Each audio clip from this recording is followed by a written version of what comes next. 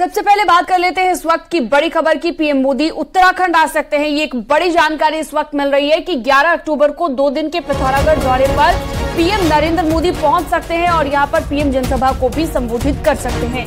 वहीं अक्टूबर के महीने में ही पीएम मोदी केदारनाथ धाम और बद्रीनाथ धाम के दर्शन के लिए भी आ सकते हैं। ये भी एक जानकारी मिली है। तो 11 अक्टूबर को पिथौरागढ़ आ सकते हैं। प्रधानमंत्री नरेंद्र मोदी दो दिन का पिथौरागढ़ दौरा उनका रह सकता है। ये जानकारी इस वक्त मिल रही है।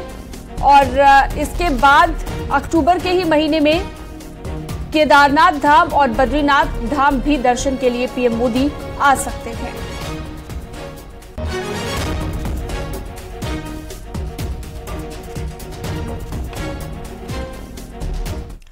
पहाड़ से लेकर मैदान तक डेंगू ने अपने पैर पसार लिए हैं। वहीं चिकनगुनिया ने भी दस्तक दे दी है। राज्य में डेंगू के 1100 से ज़्यादा मामले सामने आए हैं और डेंगू से अब तक 13 लोग अपनी जान गंवा चुके हैं। पिछले 24 घंटे में बासठ नए मामले सामने आए और इसके साथ ही पौड़ी में भी डेंगू से दो मरीजों की मौत हो गई। पौड़ी के साथ ही नैनीताल ज़िले में भी डेंगू के केस बढ़ रहे हैं।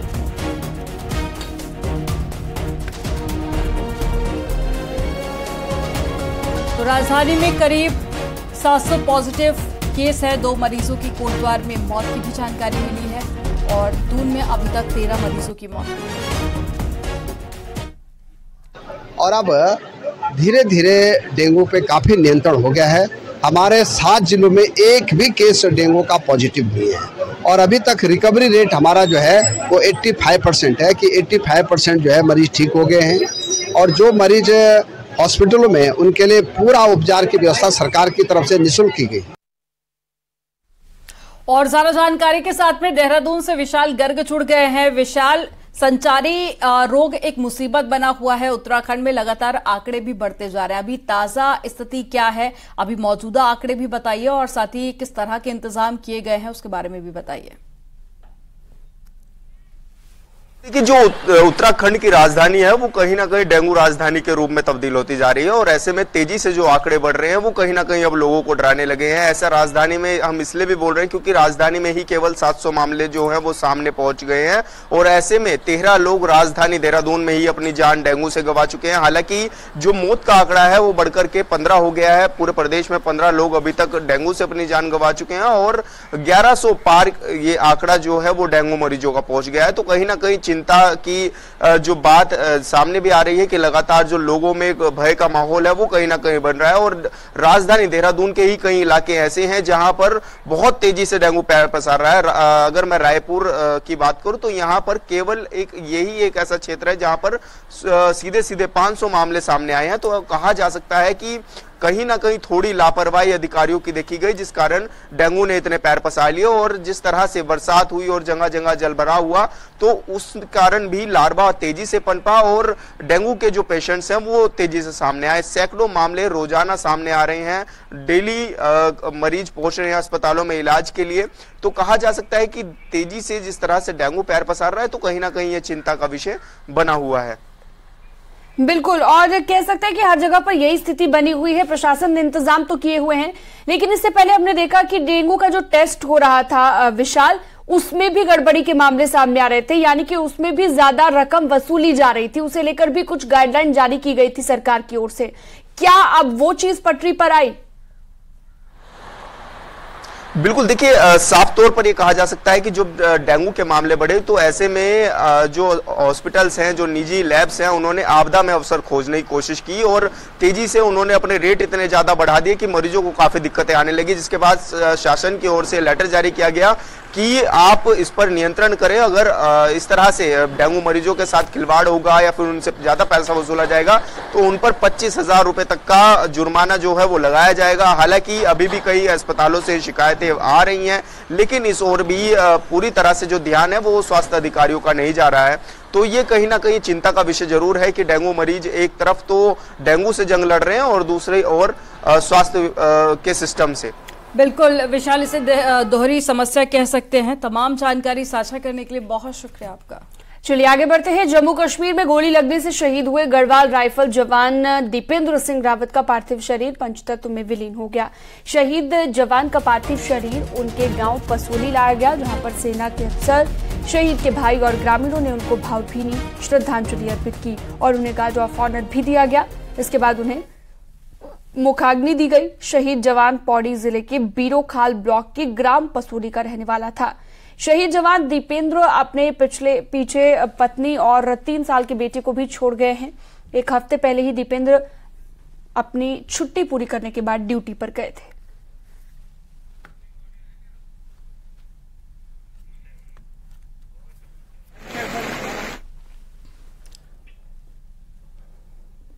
भारतीय वायुसेना के होनहार अधिकारी विंग कमांडर अनुपम गुसाई की लेह लद्दाख में हार्ट अटैक से उनका निधन हो गया था। विंग कमांडर अनुपम राफेल के पहले टेक्निकल अधिकारी थे जो फ्रांस में ट्रेनिंग लेकर आए थे। उनका पार्थिव शरीर वायुसेना के विशेष जहाज़ लेह से उनके देहरादून आवास पर लाया गया। इस दौरान सैनिक कल्याण मंत्री गणेश जोशी भी उन्हें श्रद्धांजलि देते हुए नज़र आए।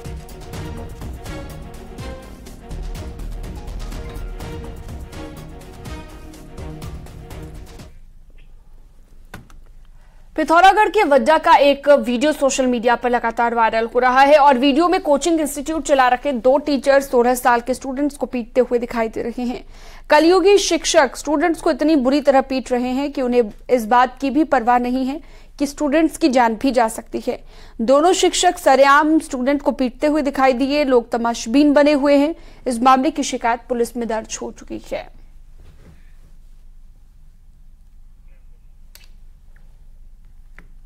तो देख सकते हैं वो वीडियो जो सोशल मीडिया पर लगातार वायरल हो रहा है। इस तरह के जल्लाद टीचर्स पर कार्रवाई आखिर कब होगी एक बड़ा सवाल बन गया है।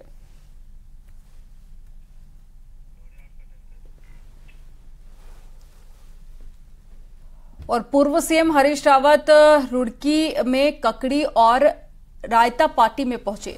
वहीं हरीश रावत ने पहाड़ी ककड़ी और साथ ही रायता का पूरा लुत्फ भी लिया। इस दौरान में उन्होंने कहा कि सरकार किसानों को मात्र ग्यारह सौ रुपए बीघा मुआवजा दे रही है, जो कि किसान के साथ में छलावा है। इस दौरान में कई अन्य लोगों से भी उन्होंने बातचीत की और साथ ही ककड़ी और रायता का लुत्फ भी उठाया। कितनी पाओगे?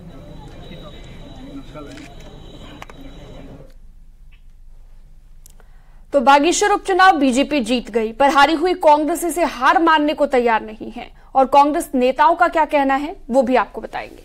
बागेश्वर की क्लोज फाइट 2024 चुनाव में अच्छे रिज़ल्ट का संकेत है। ये भी बातें कही जा रही है, एक रिपोर्ट आपको दिखाते हैं।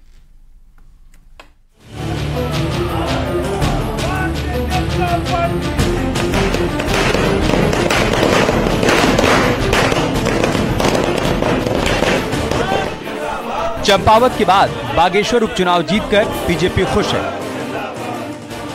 तो कांग्रेस इस बात से संतुष्ट है कि चंपावत की करारी हार के मुकाबले हालात बेहतर हुए हैं। बीजेपी और कांग्रेस के उम्मीदवार में जीत का अंतर 2,405 वोट का रहा। कांग्रेस उम्मीदवार बसंत कुमार को 30,842 वोट मिले।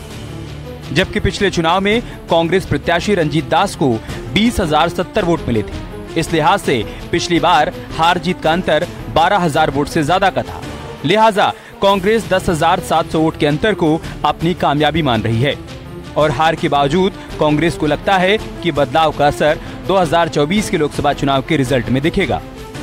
निश्चित ही 2024 में कांग्रेस और तब तक अभी समय है हम और मजबूती की ओर को बढ़ेंगे। 2024 के रिज़ल्ट अच्छा आएगा और 2027 में बीजेपी को पच्युत करके उत्तराखंड में कांग्रेस की सरकार को स्थापित करेंगे। बागेश्वर की हार में कांग्रेस भविष्य की जीत दिख रही है तो उपचुनाव जीत चुकी बीजेपी, इसे विपक्षी गठबंधन इंडिया और कांग्रेस का भविष्य बता रही है। प्रभारी मंत्री सौरभ बहुगुड़ा के मुताबिक, पहली बार बागेश्वर में कांग्रेस बीजेपी में आमने सामने का मुकाबला हुआ। वरना मुकाबला त्रिकोणीय रहा करता था। तो ये हमारे लिए उपलब्धि है कि इतनी विपरीत परिस्थितियों में जहाँ पे पूरा इंडिया ब्लॉक हमारे खिलाफ एक एकजुट होकर लड़ा। कांग्रेस ने पूरी ताकत लगाई। बड़े बड़े उनके दिग्गज नेता रात दिन वहाँ पर बागेश्वर में उन्होंने कैंप किया। उसके बाद भी हम अपना वोट शेयर भी बढ़ाने में सक्षम हुए और हमने चुनाव जीतने भी एक मिथक तोड़ा है। तो मैं बागेश्वर की देवतुल्य जनता को बहुत बहुत धन्यवाद देता हूँ। नतीजे घोषित होने के बाद बागेश्वर उपचुनाव का चैप्टर क्लोज हो चुका है, लेकिन रिज़ल्ट में फेल होने के बावजूद कांग्रेस को उम्मीद है कि 2024 की परीक्षा में कामयाबी मिलेगी। पर बीजेपी के सामने कांग्रेस का इम्तिहान आसान नहीं होने वाला। Dipankar Bhatt, News eighteen, Dehradun.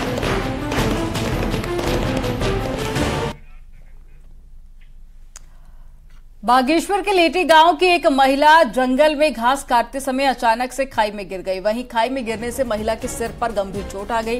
गाँव वाले खाई से निकालकर महिला को जिला अस्पताल ले गए, जहाँ डॉक्टर्स ने महिला को मृत घोषित कर दिया। मृतक महिला गाँव की महिलाओं के साथ में पास के जंगल में घास काटने के लिए गई थी, तभी पैर फिसलने से महिला खाई में जा गई।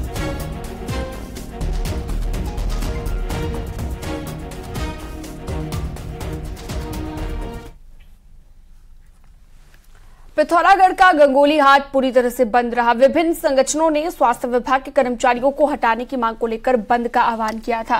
स्थानीय लोग प्रभारी चिकित्सा अधिकारी और प्रवर सहायक को हटाने की मांग कर रहे हैं। लोगों का आरोप है कि इन दोनों कर्मचारियों के कारण गंगोली हाट की स्वास्थ्य सेवाएँ पूरी तरह से चौपट हो गई हैं। हालात ये बन गए हैं कि प्रभारी चिकित्सा अधिकारी सिस्टम को बेहतर बनाने की बजाय गुटबाजी में लिप्त है। उसको सुन के आपको उनकी पूरी मानसिकता समझ में आ जाएगी।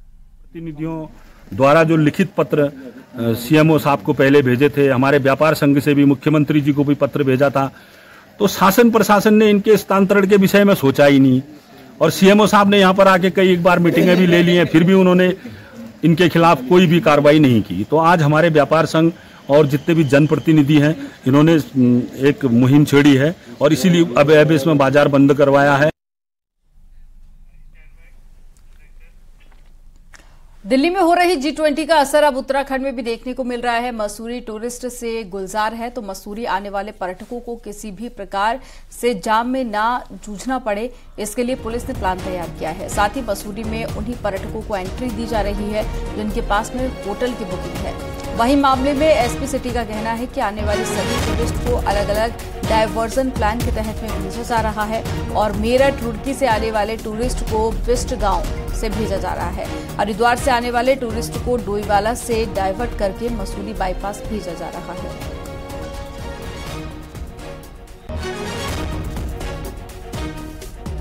वीकेंड के चलते जो है जो टूरिस्ट हैं उनकी काफ़ी बड़ी संख्या में मसूरी आए हैं और पता चला है कि बुकिंग काफ़ी बड़ी संख्या में हुई है। और इस चीज़ को लेकर के ट्रैफ़िक का प्रेशर भी है, उसको लेकर के हमने ड्यूटीज़ लगाई हैं, मसूरी में भी एक्स्ट्रा फोर्स दिया हुआ है। ट्रैफ़िक प्रेशर को देखते हुए जो ट्रैफ़िक डायवर्जन प्वाइंट्स हैं, उनको इनिशिएट किया गया है। भू बैकुंठ श्री बद्रीनाथ धाम स्वयं नारायण भगवान का वास है और बद्रीनाथ धाम से कुछ दूरी पर संतोपत सरोवर भी है। जहाँ मान्यता है कि स्नान करने के लिए तीनों देवता ब्रह्मा, विष्णु और महेश आते हैं, एक रिपोर्ट देखिए।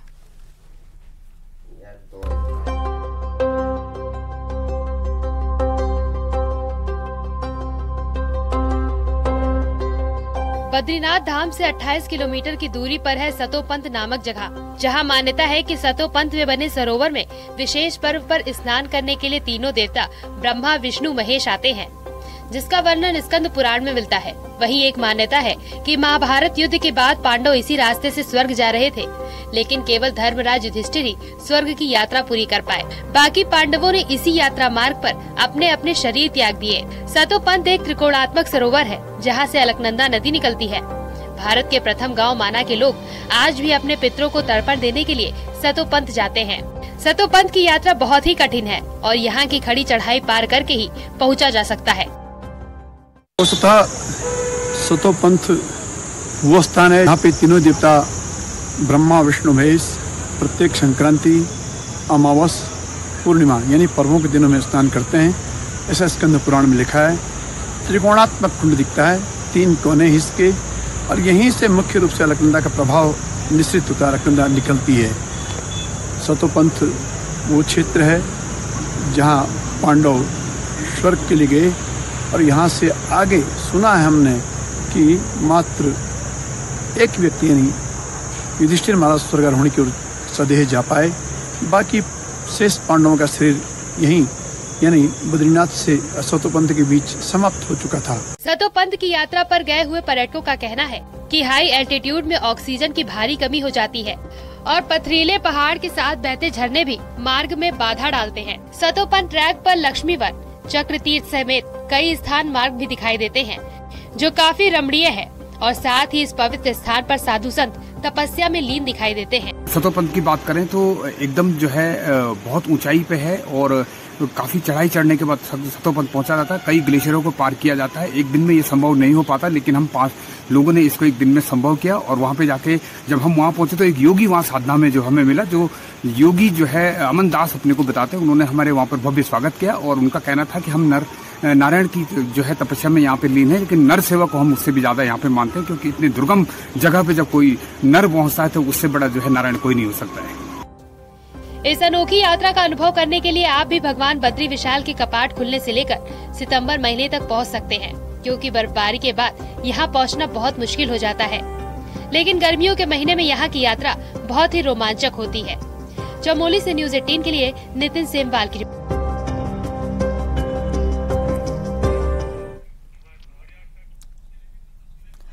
देहरादून से खबर है जहाँ प्रधानमंत्री ग्राम सड़क योजना में बिना एनओसी सात इंजीनियर्स के काम करने के मामले सामने आए हैं।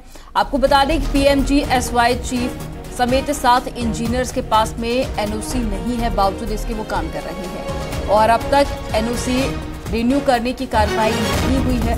मामले में सिंचाई मंत्री सतपाल महाराज का कहना है कि जाँच करने के बाद में इंजीनियर्स पर कार्रवाई की जाएगी।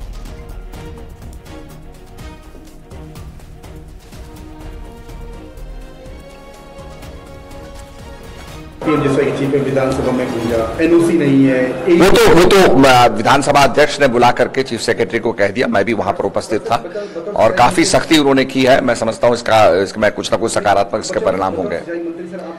चलिए वो देख लूँगा मैं उसकी जाँच करा लूँगा परीक्षण करा के मैं, मैं उसका कार्रवाई करेंगे उस पर। धन्यवाद जी।